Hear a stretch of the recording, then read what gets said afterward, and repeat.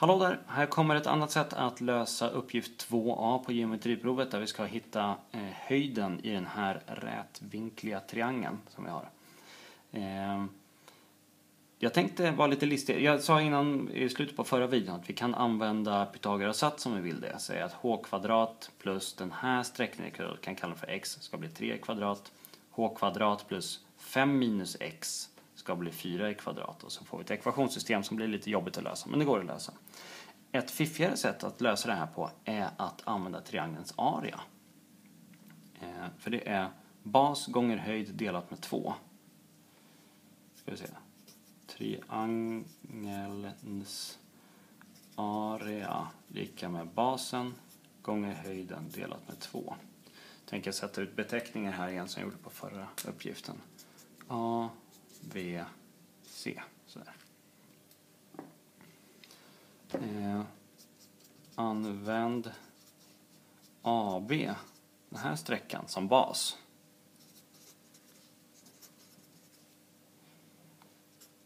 Det betyder att höjden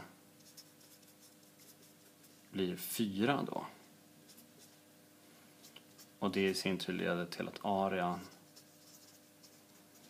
lika med 4 gånger 3 delat med 2 är lika med 6.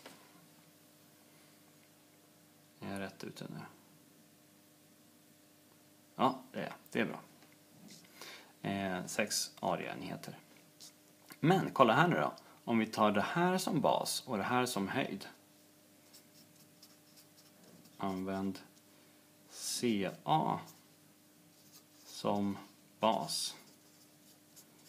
Då får vi höjden är lika med h, det här okända som vi har.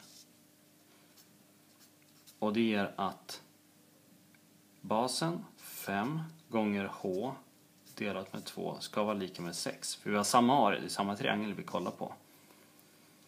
Och det här ger oss då i sin tur att höjden är lika med 6 gånger 2 delat med 5. Det här blir 12, 12 delat med 5, det är 2,4. Det här använder inte likformighet överhuvudtaget. Så det här är en liten genväg man kan ta om man vill det. Det är kul att det blir så. Svar H är lika med 2,4. Det var det. Vi ses i en annan video. Hej då!